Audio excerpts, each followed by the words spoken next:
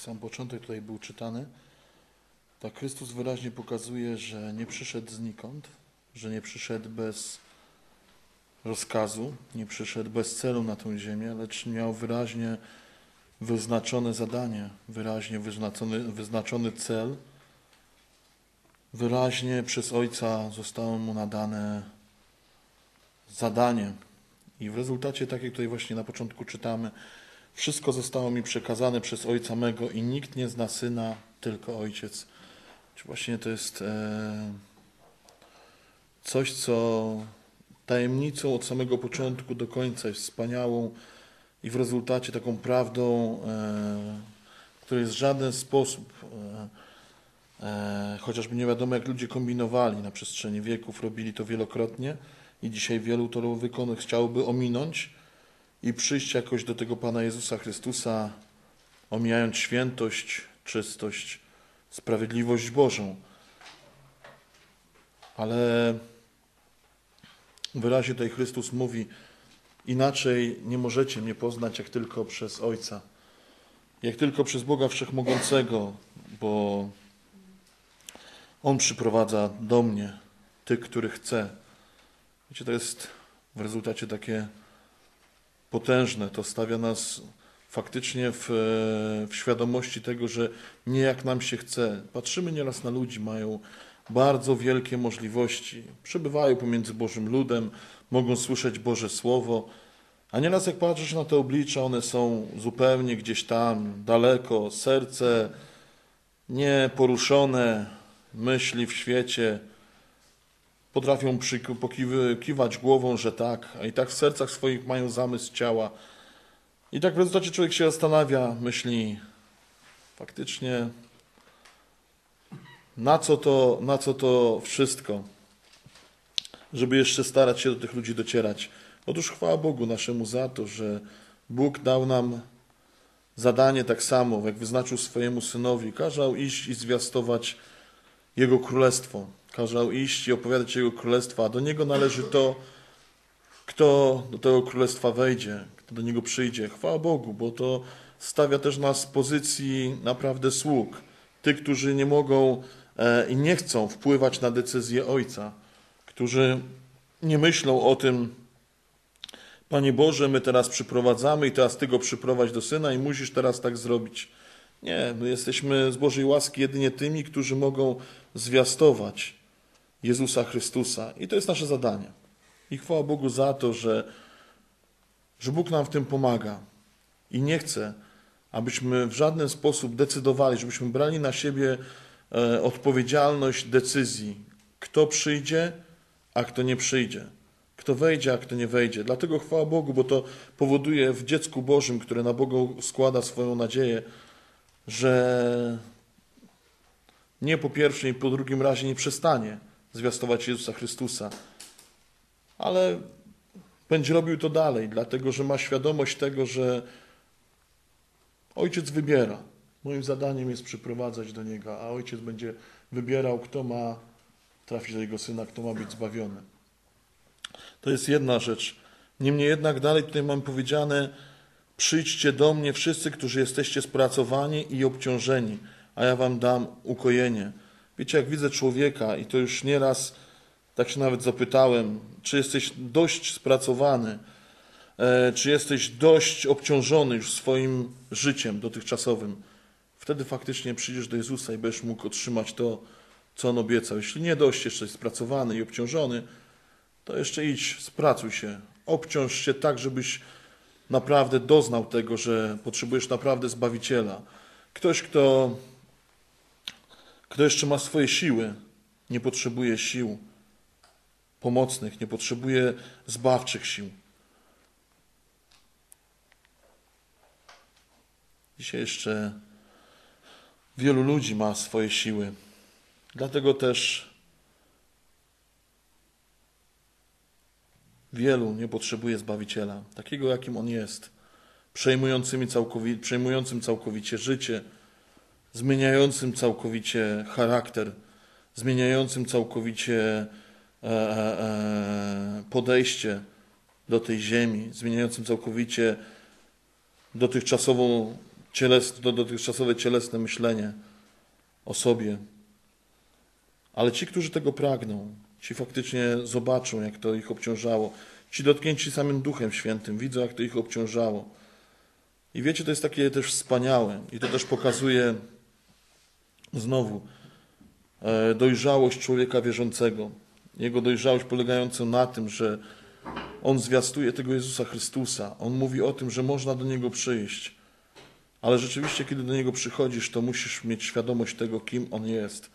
Na tyle, ile rzeczywiście e, e, e, będziesz mógł Go zobaczyć. Wiecie, kiedy zwiastujemy, nieraz mówimy o tym Panu Jezusie Chrystusie, to nie oczekujemy od człowieka tego, że teraz pojmie to, co my możemy przez zgromadzenia też i e, spotykanie się wspólne pojmać z tego Słowa Bożego, ale oczekujemy tego, że Duch Święty poruszy w tym człowieku te fragmenty też, które gdzieś otwieramy, które, o których mówimy temu człowiekowi. Mamy świadomość tego, że Duch Święty jedynie może to zrobić.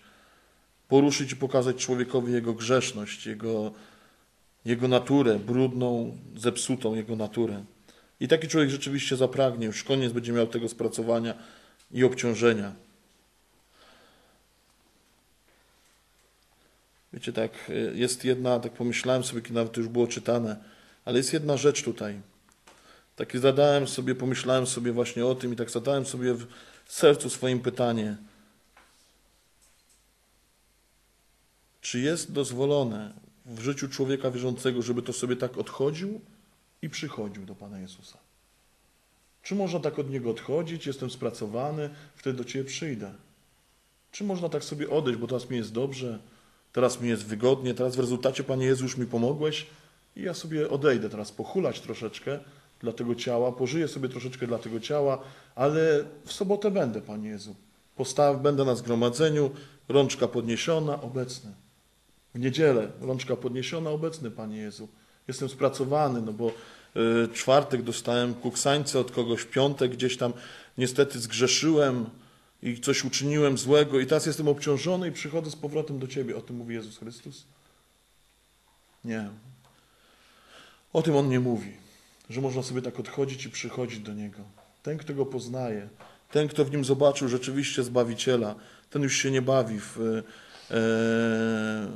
żadne odchodzenie i przychodzenie. Ten, jeśli poznał prawdziwie Zbawiciela, to wie o tym, że już nie chce dalej być strudzony. Nie chce dalej już zaznawać obciążenia tego świata. Nie, nie chce doznawać nawet tego świata. To jest jeszcze może małe obciążenie wobec obciążenia egoizmu, własnego ja, własnego myślenia o sobie, tym, co mi teraz by się przydało, tym, co ja bym teraz chciał dla siebie zrobić, tym, co mogłoby mi szkodę przynieść i tak dalej, i tak dalej. Wiecie, chwała Panu naszemu za to, że jak On nas przyjął do siebie, to teraz nie chce nas tak puścić, żebyśmy z powrotem sobie hulali. Wspaniała radość jest Ojca, kiedy wraca Syn marnotrawny. Ale tam już nie widzimy z powrotem, że syn sobie przyszedł na chwilę do swojego ojca i dwa tygodnie odzregenerował się i z powrotem idzie w swoje.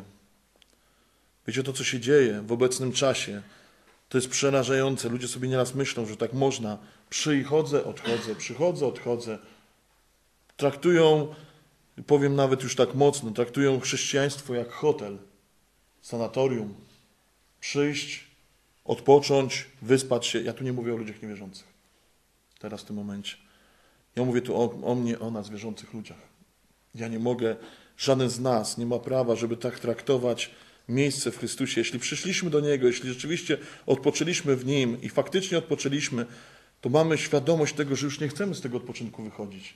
Kiedy przyszedłem, aby odpocząć w Jezusie Chrystusie, to już nie chcę, bo Paweł mówi dalej w tym liście, o którym mówi właśnie tak mocno o tym odpocznieniu, dalej w tym samym liście mówi, że uważajcie, abyście nie doszli do tego, żebyście całkowicie nie odpadli.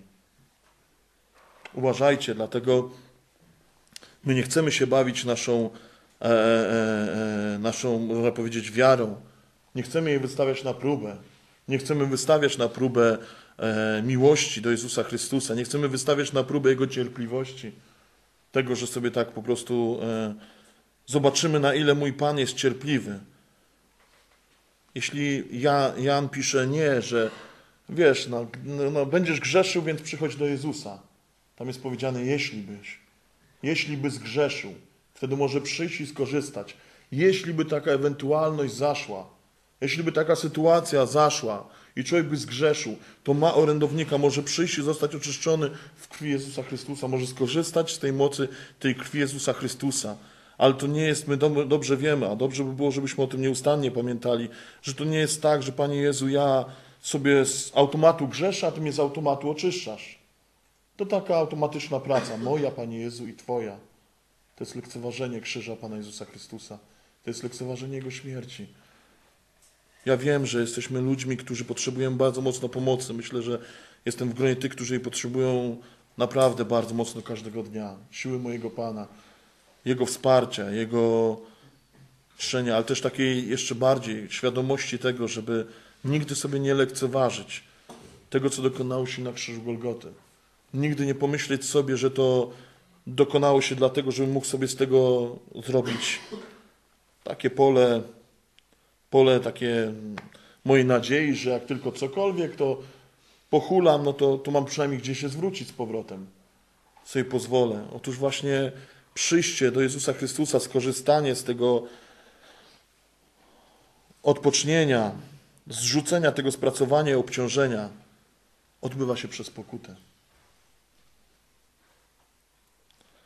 I chwała Pan naszemu, że kiedy człowiek przychodzi do Niego, bez, bez pokuty nie może przyjść. Jeśli przychodzi do Niego i wyznaje, że to ja, Panie Jezu, jestem tym, który do tego stanu się do, doprowadziłem, to ja jestem tym, który zgodziłem się na grzech, który tak mnie obciążał, był mi jak ten kamień wiszący u mojej szyi, to ja sprawiłem to, Panie. Chcę teraz przyjść i skorzystać z tego słowa, z obietnicy Twojej. Chcę przyjść z tego, aby rzeczywiście wziąć to od Ciebie, już posłuszeństwo, chodzenie w tym posłuszeństwie, w tym, co będzie łączyło mnie też z Kościołem.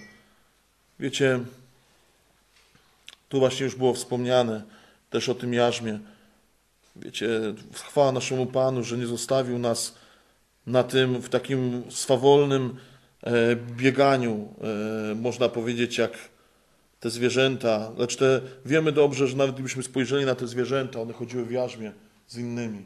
Tam było rzeczywiście chodzenie pod tym jarzmem. Kiedy Pan nas przyjął, to chce, żebyśmy chodzili wszędzie z Nim. Nigdzie sobie nie potraktowali, nie próbowali rozłamać Go, odłamać się od tego chodzenia z Jezusem Chrystusem. I kiedy dopiero chodzisz wszędzie z Jezusem Chrystusem, kiedy jesteś z Nim w pracy, w domu, w samochodzie, w drodze, wtedy rzeczywiście widzisz, jak w wielu momentach On ochrania Cię przed niebezpieczeństwem. Ale kiedy rozłączasz się, jak to dzisiaj znowu wielu ludzi robi, jak to pisze Paweł w tych czasach ostatecznych, wielu jest samolubnych i chodzi sobie w swoim jarzmie, to później się dziwią, że Panie Jezu, miłość to była krótka moja historia, przygoda, miłość do Ciebie. Wiara, ona też trochę dłużej pożyła, ale się skończyła. Nadzieja, no nadzieję oczywiście, że mam, bo, bo chcę być w niebie. I wiecie, tu nie chodzi o w żadnym wypadku szydzenie, ale chodzi o to, żeby, żeby się zastanowić nad tym, że jeśli nie chodzę w, tym jarzmie, nie robię tego samego, co robi Jezus Chrystus, nie ma już chodzenia na boki. Nie ma życia na boku, ale dla Ciebie, Panie Jezu. Albo chodzę z Nim tam, gdzie On chce, albo nie jestem z Nim w jarzmie. Ludzie dzisiaj generalnie myślą sobie, że nie trzeba pytać Pana Jezusa, czy mogę to wykonywać, czy mogę tamto. Nawet kiedy słyszę e, od, e, od mojego Pana przez słowo głoszone, że nie idź tam, to ludzie są gotowi dzisiaj naprawdę e, poszukać sobie tych, którzy powiedzą, możesz iść, ale uważaj.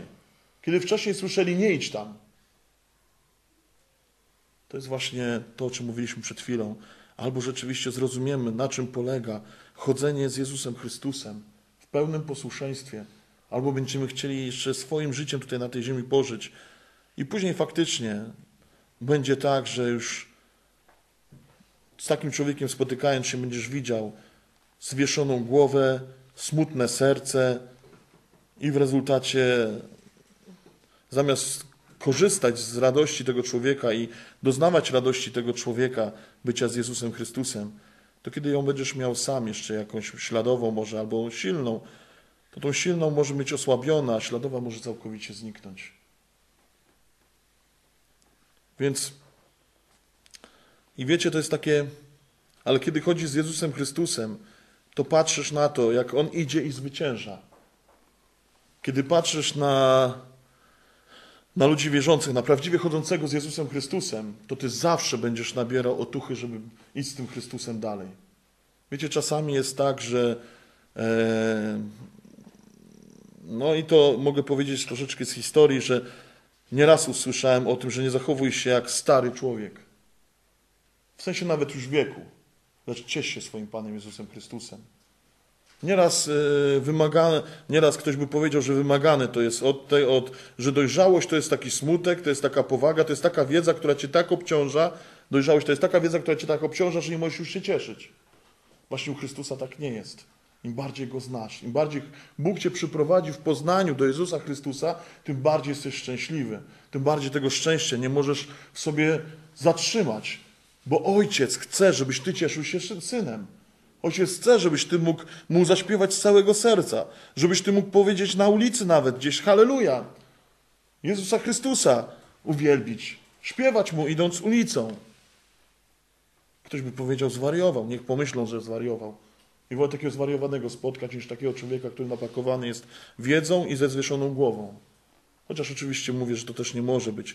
To musi być tak, jak Słowo Boże mówi, ale lepiej spotkać szczęśliwego. To już Salomon pisał.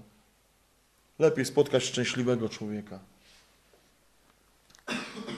I na tym właśnie to polega. Kiedy jest, przychodzisz do właśnie do Jezusa Chrystusa i kiedy chodzisz w Nim, to jesteś naprawdę szczęśliwy. Z biegnącymi latami stajesz się Zamiast smutniejszy, to szczęśliwszy. Ale kiedy i dlaczego? Dlatego, że już nie ma Ciebie. Wtedy możesz widzieć te słowa też jeszcze bardziej Jana. On musi wzrastać, a stawać się mniejszym. Wtedy widzisz to, kiedy Jezus Chrystus wzrasta w Tobie i wtedy widzisz rzeczywiście to, że jedyną, jedyną osobą, z której możesz się cieszyć, jedyną rzeczą, z której możesz się cieszyć, to jest to jarzmo z Jezusem Chrystusem, a osobą jest tylko Jezus Chrystus. Bo sam wiesz, że dawno byś się wyrwał. Wiecie, to jest to, że diabeł nas kusi do tego, żebyśmy się wyrwali spod tego jarzma. To nie ma się co dziwić. Będzie zawsze kusił. Oderwij się, pożyj, pohasaj. Jesteś naprawdę nie stary, jesteś młody. Kusi nieustannie. Ale ty patrząc na Jezusa Chrystusa nabierasz siły, żeby mówić wszędzie z moim Panem. I rzeczywiście te lata z tym Panem Jezusem Chrystusem, miesiące, lata te z Jezusem Chrystusem traktujesz rzeczywiście jako swoją radość, jako ten skarb, swojej radości. Jest jeszcze jest jedna rzecz, która bardzo silnie obciąża dzisiaj i co Bóg zapowiadał już, to w Księdze Objawienia czytamy i w wielu miejscach Nowego czy też Starego Testamentu. To jest obciążenie oskarżeniem. Diabeł naprawdę e, udaje mu się obciążać ludzi oskarżeniami. I później ci ludzie potrafią mieć haka na wszystkich. Najczęściej na siebie nie mają, ale haka na, na wszystkich potrafią znaleźć tak oczywiście. Wiem o co chodzi pod tym słowem hak. Oskarżenie potrafią znaleźć na wszystkich. I pokaż mi takiego człowieka, który potrafi się wtedy cieszyć Chrystusem. Wpadł w straszną rzecz. Wpadł pod oskarżyciela. Chodzi z jarzmem z oskarżycielem. To nie jest jarzmo z Chrystusem. Bo kiedy nawet chodzisz w jarzmie z Jezusem Chrystusem i kiedy nawet coś do ciebie dociera, coś widzisz, Wtedy rzeczywiście wiesz, z kim jesteś w swoim jarzmie i wiesz, widzisz, jak postępował Jezus Chrystus. Patrzysz na tego, z którym idziesz w tym jarzmie.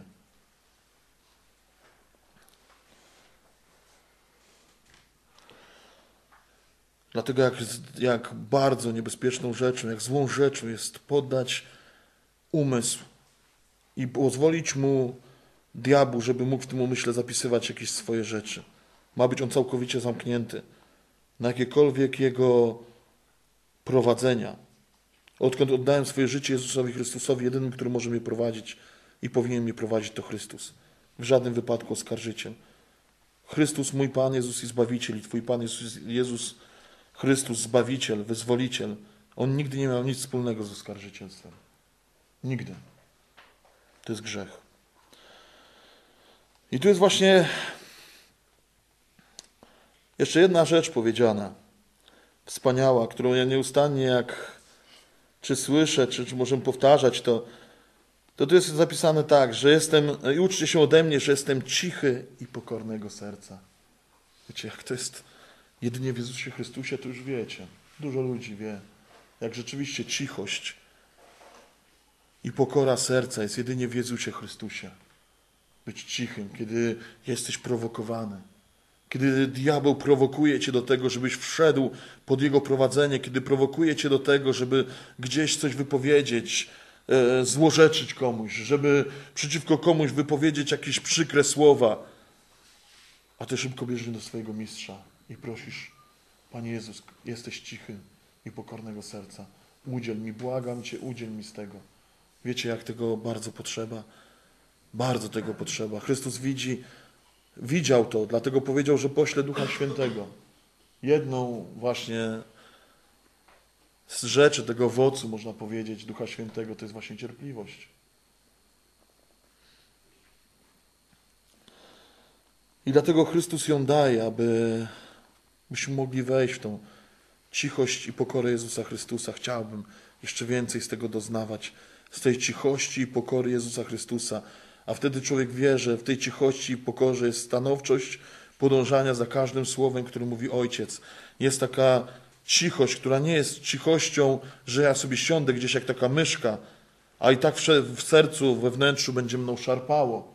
Ale to jest cichość, to jest pokora wnętrza, która wychodzi na zewnątrz, to jest pokorne, ciche serce, które gdy nawet jest poruszone przez kogoś, próbuje być poszarpane przez kogoś, to wtedy tam się wydobywa pokora i cichość.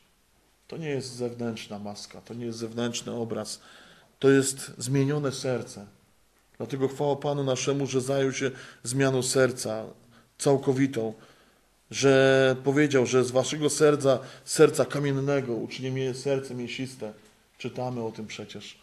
On obiecał, On to uczyni, On to może sprawić.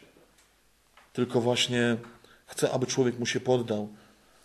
Chce, aby człowiek zrozumiał to, że już nie ma co dalej szarpać się, ale poddać się w końcu Jezusowi Chrystusowi.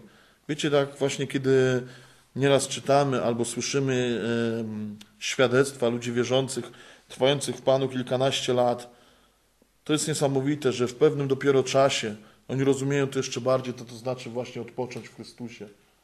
Oni rozumieją to jeszcze bardziej, co to znaczy oczywiście oddać swoje serce Jezusowi Chrystusowi, odpocząć w Nim, już nie samemu nie narzucać temu sercu, samemu nie starać się go zmienić. Ludzie dzisiaj naprawdę są potężne religie na tej ziemi, które mówią: My się zajmiemy Twoim sercem. My się zajmiemy Twoim sercem. Chodź tylko e, do tego, my Cię zrobimy moralniejszym. Dawaj na tacę, dawaj na, na biednych, my się zajmiemy Twoim sercem. Ale oczywiście zajmują się tym sercem dla nich, żeby myśleć o nich. To, co powiedział Paweł. Chodzą, aby tylko pozyskać człowieka dla siebie. I mówił też Chrystus. Ale tylko Chrystus pozyskuje człowieka. Rzeczywiście dla siebie, aby zmienić jego serce na to święte, czyste serce. Tylko powiedział jedno, że jeśli przychodzisz do mnie, a nie masz nienawiści, tego, co cię otacza, to mogłoby cię oderwać ode mnie, łącznie ze swoim własnym życiem, nie może być moim uczniem. Warunek bardzo zdecydowany, bardzo stanowczy, bardzo radykalny, ale jedyny właściwy do tego, żeby poznać i pochodzić rzeczywiście w jarzmie, w posłuszeństwie i móc skorzystać z tego skarbu, jakim jest Jezus Chrystus, z jakim jest życie w wolności już tutaj na tej ziemi, w wolności od własnego ja, od własnych humorów, od własnych charakterów, od tego wszystkiego. Wiecie, to jest właśnie wspaniałe mojego Pana, że nawet kiedy widzi człowiek już swoją bezsilność, widzi to, jak, jak rzeczywiście bez Chrystusa jest łatwy dla wroga, to chwała mojemu Panu za to, że Pan pozwala mi przyjść do siebie. Upaść na kolana. Wyznać, że jest grzech. I pozwala mi z powrotem, mówiąc, idź więcej już nie grzesz. Chodzić z powrotem z Nim w tej cichości, w tej pokorze. To jest wspaniałe u mojego Pana. I mam świadomość tego, że naprawdę tylko z Nim człowiek może być zmieniony od najgłębszego jego wnętrza, najgłębszej strefy jego wewnętrznej, może być zmieniony w Chrystusie.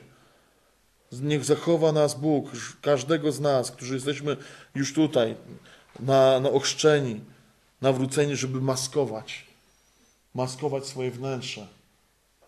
Szczery, jak mogliśmy usłyszeć ostatnio, uczciwy przed Bogiem, ten, który demaskuje wroga, można powiedzieć, gdzieś ten grzech, otwiera go przed Bogiem, ten rzeczywiście będzie mógł zobaczyć Jezusa Chrystusa, to będzie mógł doznać z tego, kim On jest, jak On zbawia, jak On ratuje. Ale ten, który zakłada maskę i mówi, to nie jest, to nie jest takie złe. Ja to robię już tyle lat i tak się jeszcze w tym chrześcijaństwie utrzymuję. Ja to robię i jakoś mi się udaje. To nie znaczy tak. Pan mówi, że konkol i pszenica rosną razem. Pan mówi, lepiej bądź tą pszenicą, bo konkol przyjdzie dzień, że będzie wyrwany i w ogień wrzucony. Mówi, pszenica będzie zebrana tylko do spichlerzy i nie będzie pomyłki. Konkol pójdzie precz, pszenica, pszenica pójdzie do spichlerza. Dlatego jak ważne jest to dzisiaj, żebym naprawdę też nie maskował czegoś, nie zakrywał czegoś, albo właśnie tym, który jeśli faktycznie jestem obciążony gdzieś grzechem, Mam świadomość tego, że ten grzech jest, tkwi we mnie, obciąża mnie i nie mogę się ruszyć, nie mogę za Tobą, Jezu, pobiec. To chcę ten grzech jak najszybciej wyznać. W pokorze, w pokucie, aby Chrystus jak najszybciej to zmienił. Wiecie, komu może się wydawać, i kiedyś tak słyszałem, raz zawołałeś do swojego Pana, On już to uczynił, to już się stało, to teraz już wiesz, już nie musisz tak wołać do swojego Pana. Otóż dziękuję mojemu Panu za to, że nieustannie mogę wołać do Niego. Zmień mnie i trzymaj blisko siebie, nieustannie. Trzymaj mnie mocno w tym jarzmie. Trzymaj mnie mocno w tym jarzmie. Tego nie można. Chrześcijaństwo to nie nawyk, to nie tradycja. To jest codzienne, żywe chodzenie z Jezusem Chrystusem. Tego nie można dostać z rodowodu. W sensie, bo, bo, e, e, bo tak miałem ci poprzedni, którzy byli przede mną, do któregoś pokolenia, jak to gdzieś kiedyś też słyszałem. To oni byli tacy, więc no, mi się to dostało. Tak słyszałem, takim, taki człowiek sami osobiście mówił, że jego dziadek był pastorem, no to więc on jest wnukiem, no dostało mu się coś w udziale. Bzdura. Mógł wtedy mu powiedzieć, zobacz, gdzie doprowadziło cię twoje grzeszne życie, twoje grzeszne serce. Tego nie otrzymuje się tak.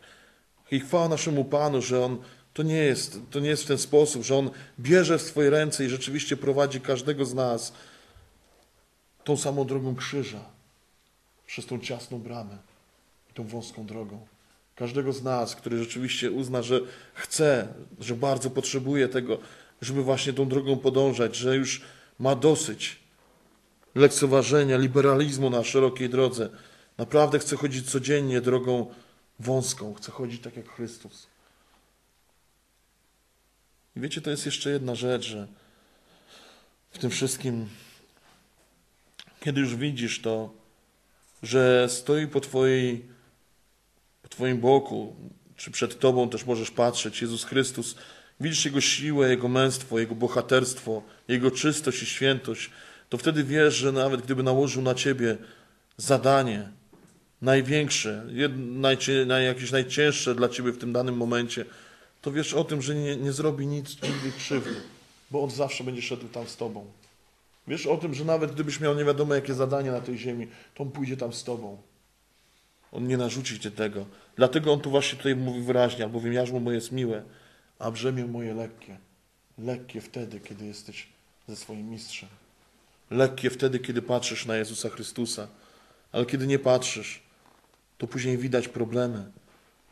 Naprawdę. I ktoś mógłby powiedzieć, wiesz, ja jestem u takiego usposobienia, że nawet w starym swoim życiu to ja tak, y, to tak nie uśmiechałem się. Ja taki byłem zwieszony, ponury.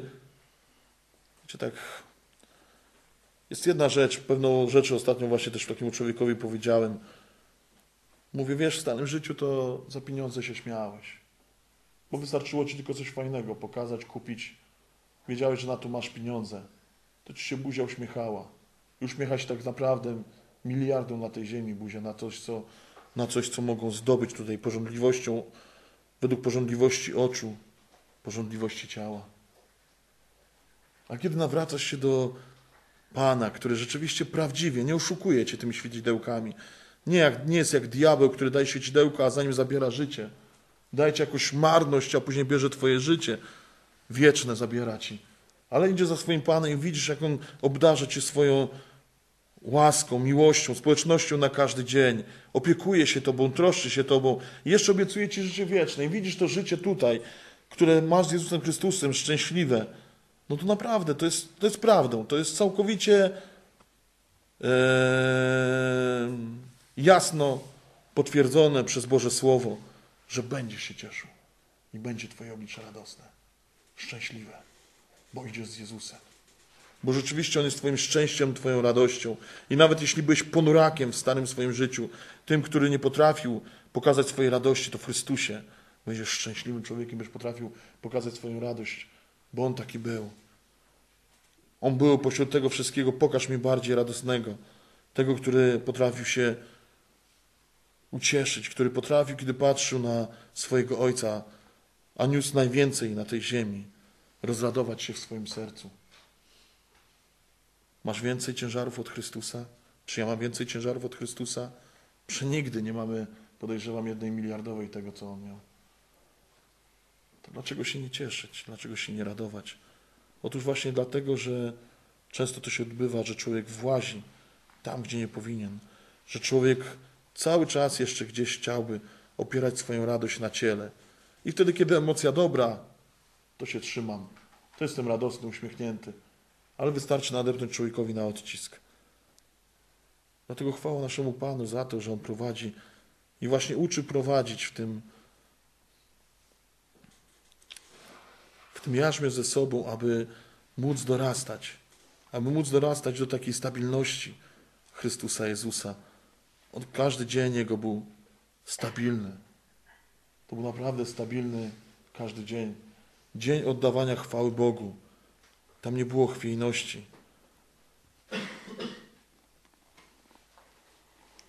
Na koniec jeszcze tylko. Tendencja jest ostatnich, ostatecznych czasów będzie jeszcze bardziej, jeszcze większa, żeby chwiać się tu na lewą, tu na prawą stronę. Żeby pozwalać swoim emocjom raz być u góry, raz być na dole. I tylko ci, którzy mają swoje emocje w Jezusie Chrystusie, ci będą stabilni. Tylko ci, którzy rzeczywiście położyli swoje życie Jezusowi Chrystusowi, ci będą stabilni, ci będą zawsze szukali odpowiedzi u swojego Pana. To będzie uczyło ich stabilności.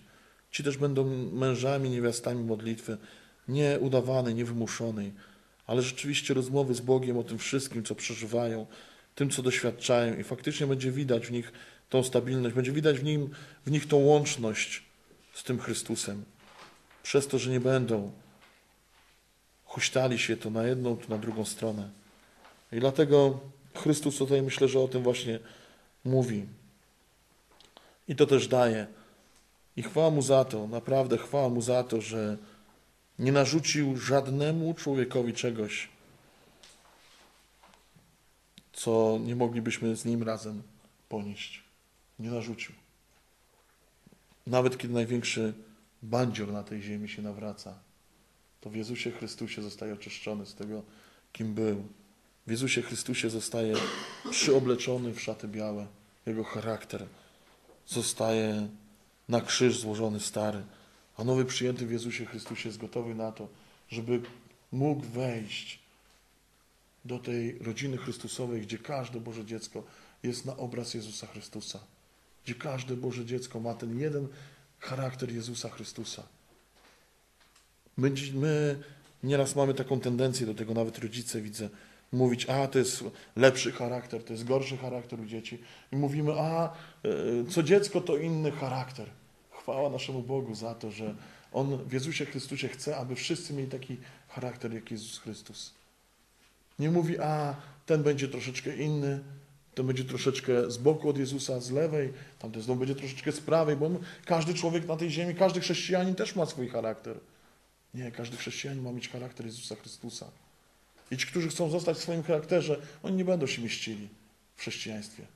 Oni będą odpadali, bo oni chcą dalej swojego charakteru, chcą dalej kręcenia się wokół siebie, chcą dalej cielesności.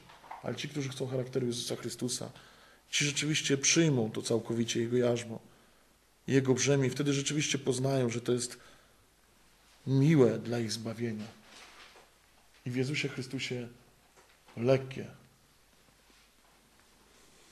Bo to dalej czytamy w, Ewangel- w liście Jana, że przykazania Jego nie są ciążliwe. Wtedy przykazania samego Jezusa Chrystusa stają się miłą wonią człowiekowi. Bo tak jak dawniej czynił zło, tak teraz może w Jezusie Chrystusie mieć siłę, aby wypełniać te przykazania Chrystusowe. I to wtedy staje się dla niego taką, można powiedzieć, e, zdobyczą, takim skarbem, który, który dostał, perłą, którą otrzymał. Mogę wykonywać przykazania samego Jezusa Chrystusa, samego Zbawiciela, samego Triumfatora, samego Zwycięzcy. Rozkazy mogę mieć. Nie jakiegoś tam Jezusa Chrystusa, ale Jezusa Chrystusa, który zatriumfował, zwyciężył. I teraz zbiera swoich zwycięzców z tej ziemi do ostatniego dnia, aby ich posadzić przy stole i im usługiwać, aby zasiąść razem z nimi i wieczerzać. Ten Pan zwycięzca właśnie mówi tacy, którzy zrozumieli przez Ducha Świętego to jarzmo, to brzemię, ci będą jedynie mogli być ze mną.